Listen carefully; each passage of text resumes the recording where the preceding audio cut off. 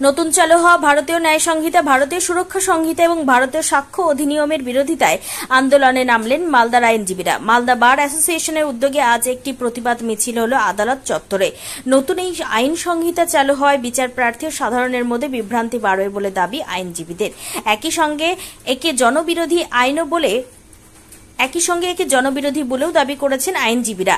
এদিন প্রতিবাদ মিছিলে পা মেলান শতাধিক আইনজীবীরা। মালদা বার অ্যাসোসিয়েশন থেকে মিছিল বের হয়ে আদালত চত্বর অতিক্রম করে আবার বার অ্যাসোসিয়েশনে এসে শেষ হয়। মিছিলের ডাকে ওনাদের নির্দেশ মতো আমাদের মালদা সহ চাচল এবং গোটা পশ্চিমবঙ্গের সমস্ত আদালত আজকে কর্মবিরতি এবং ব্ল্যাক ডে হিসেবে পালন করা হচ্ছে।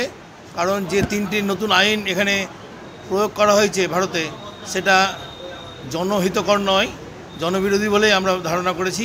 সেই কারণে আমাদের আজকে এই মানে স্ট্রাইক বা abstain from judicial work.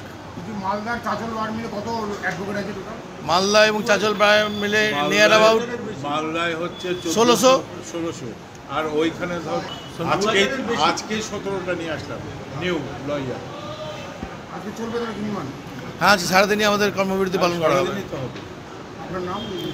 Subhendu Narayan Chowdhury secretary Malda bar association